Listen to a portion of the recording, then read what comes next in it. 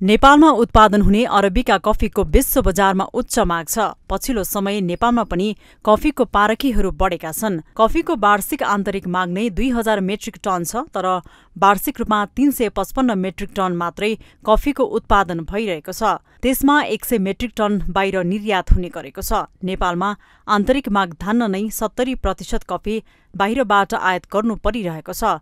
देशको कुल ग्राहस्थ उत्पादनमा नेपालको कफीले आठदेखि दस प्रतिशत योगदान दिने भए पनि भूमि अनुदान बिमा लगानी लगायतको समस्याले किसानलाई गिजोलिरहेको छ। व्यावसायिक खेतीको कुरा गर्छौँ अनि राज्यले चाहिँ सत्तरी पचहत्तर रोपनी भन्दा बढी चाहिँ नि तिमीहरूले जमिन राख्न पाउँदैनौ भन्ने कुराको जुन एउटा अङ्कुश छ र कफी उत्पादन नेपालको कफी बाह्र लाख हेक्टरमा उत्पादन हुन्छ त्यो भनेको अहिलेको जिडिपीमा चाहिँ कफीले चाहिँ राम्रो चाहिँ के त सहयोग गर्न सक्छ। राज्यको कुरा गर्ने राज्यले खासै कफीमा त्यति धेरै बजेट व्यवस्थापन गरेको छैन। अब चिया तथा कफी विकास बोर्डमा चाहिँ नि बोर्डले कफीको चाहिँ नि सेक्टर हेर्ने हो। त्यहाँ बाह्र तेह्र करोड पैसा छ त्यो पनि सात साढे सात करोड चाहिँ त्यहीँको त्यो अफिस व्यवस्थापन कर्मचारीको तलबमा जान्छ। तिन चार करोड चिया र कफीमा चाहिँ नि विभाजन गर्नुपर्छ भने चाहिँ एक डेढ करोड पैसा राज्यले चाहिँ हामीले कफीलाई दिएको छु भने भरमा कफीको चाहिँ उन्नति हुने कुरा त अवस्था त छैन। तुरुन्तै यसले इन्कम दिँदैन आम्दानी गर्दैन। हाम्रो किसानहरूले यसलाई अलिक धान्न नसक्ने स्थिति छ। यसको कारण किन भनेदेखि कफी रोपेर पाँच वर्षपछि मात्रै यसको आम्दानी सुरु हुन्छ होइन?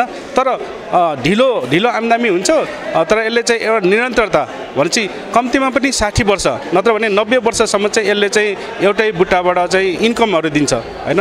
त्यसले गर्दाखेरि यहाँ बिचमा लगानीको ग्याप होइन? त्यो चाहिँ मैले देख्छु। सरकारको प्राथमिकतामा परेको छैन क्या आज नगदे बालीको रूपमा नम्बर वानमा सफल चाहिँ भएको छ। कफीले तपाईँको एउटा नर्सरी मेनदेखि लिएर तपाईँको होटल फाइभ स्टार होटल तपाईँको दुबई जस्तोको सेभेन स्टार होटलहरूमा पनि रोजगारी चाहिँ उपलब्ध गराउने क्षमता चाहिँ कफीले राख्दछ।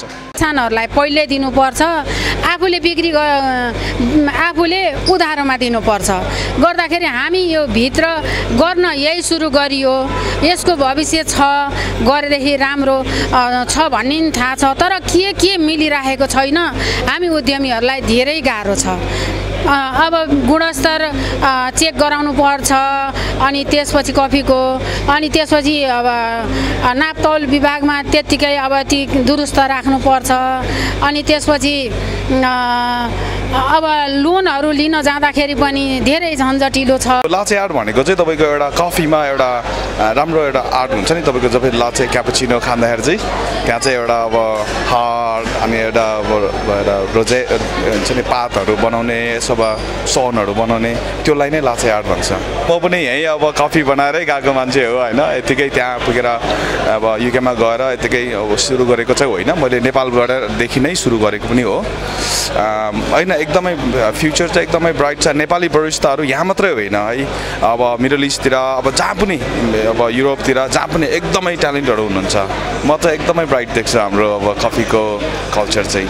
नेपालको coffee America Japan Switzerland Korea Taiwan Australia लगायतका देशमा उच्च माग छ। बत्तीसै किसान कफी खेतीमा आबद्ध छन्। उत्पादन पर्याप्त हुन नसक्दा आन्तरिक र बाहेक माग धान्न सकिएको छैन। नगदे बालीको प्रमुख स्रोतको रूपमा रहेको कफीबाट रोजगारीको अवसर विदेशी मुद्रा आर्जन राजस्व वृद्धि जस्ता थुप्रै अवसरहरू छन् तर ती सबै सम्भावना त्यतिकै कागजमा मात्रै सीमित छन्। यसमा सरकारले अहम भूमिका खेल्नुपर्नेमा सरकारवालाहरूको जोड छ। माउन्टेन टिभी एसडीका लागि क्यामेरामा पुरन सुवेदीका साथमा विद्या तामाङको रिपोर्ट।